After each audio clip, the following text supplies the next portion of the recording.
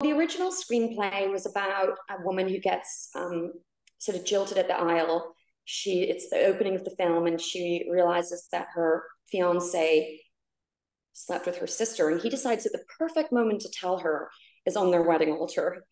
so the film takes off very quickly uh, with her in her bride's dress running through the streets of Milwaukee, you know, in this floating white taffeta like a big cream pie.